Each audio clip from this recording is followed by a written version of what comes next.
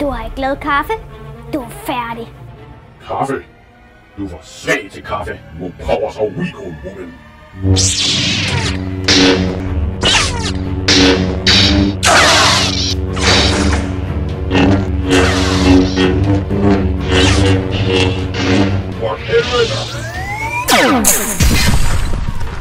I'm your mother.